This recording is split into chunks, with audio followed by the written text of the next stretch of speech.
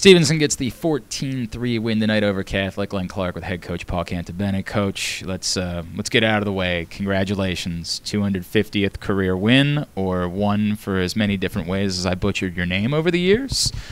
Um, you take a second to think about it. I know right now you're just happy to win a game, but what does it mean to reach that number? Well, I think if you if you you understand where we've come from, you know, when I first came here, you know, we had a slanted practice field. We had none of the things we had now.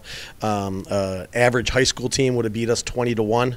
Uh, so you know what we've come to now, and I think we've achieved over the, my 19 years here is uh, pretty remarkable. And to do it with uh, Tim Paulus, my assistant, the whole time uh, is a lot. Tim does a great job, but we built it together, and uh, to get 250 wins, like Villa Julie College, if you told me when I took over there 19 years ago, you'd have 250 wins here. I'd tell you you're, you're crazy. I'm going to have like five, and I'm going to leave. But now, but it's been a good landing place and a good home place, and treated me really well over the years. And so it's just a, always a great thing to get one of those mile, uh, milestone uh, wins. And so uh, we'll take it, and uh, and, uh, and uh, we'll celebrate that later, maybe with a little toast with my wife. But you know, it was a good win. We'll take it, and 250 is nice. I think I heard MC say she was going to throw you a reception on Saturday night, so make sure you hold her to that.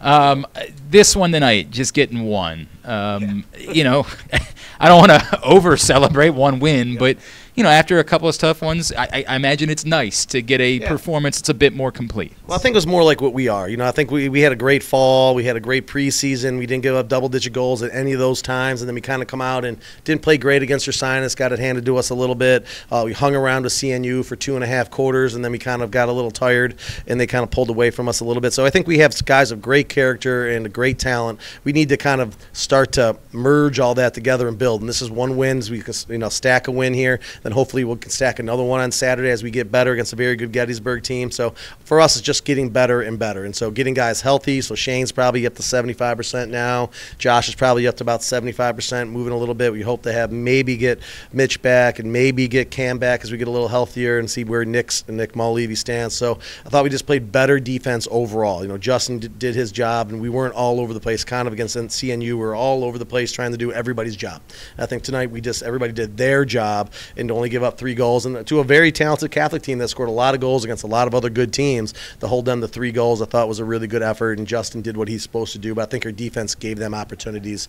Uh, our close guys, you know, especially Eddie Masterson, did a great job. You know, he's never played close. I don't even think in high school he played close, but having bump him down there to get him to this spot, I thought he played better, more comfortable down there. And I just thought we just played as more as the, the team I thought we'd be like tonight. So hopefully we can stack that up as we go forward a little bit. And uh, we know we're going to be a better team in a month than we are from now. And that's the goal to get us where we need to go. So, but we like to play these uh, tough games to get us ready for that. I feel like there were three areas that we had talked about coming in tonight about maybe needing the extra man, clearing, face-offs. I, I think the clears were probably a little bit better tonight. I think that stood out yeah. from, from where we were.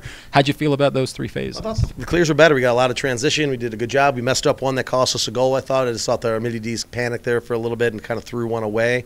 I thought the extra man was pretty good for the most part. I thought we got good shots. We didn't score as many as we wanted to, but I thought we got good shots uh, for the most part. And I think face-offs got better. That kid's pretty good. He's done a good job. And I thought Justin got some good wins and. Uh, half. So we got a couple different guys you can go against, different guys that do different things, and uh, so which I like. But we're going to be a better face-off team in two weeks than we are for today. You know, this this is a work in progress, and I think those guys are up for the challenge. All right, it's another Saturday night against the number three team in the country. It's uh, let's just make it a tradition, right? Around it happens every week, you know. You know what I mean? It happens every week. We you know we got to go down to Lynchburg. They'll probably be a top five team, and then we'll play Dickinson, who will probably be a, a top five team. We'll play RIT, and then uh, the, the team down in the Eastern Shore. I can't remember their name. I can't remember their name, and then we'll play them, and and then uh, you know we'll see what we do. You know, but that's what we like doing. They're good games, and our guys like to play in them, so we're excited about it. The competition for sure. All right, coach. Congratulations on a milestone victory. Thanks for taking the time. Thanks a lot, Glenn. Appreciate it.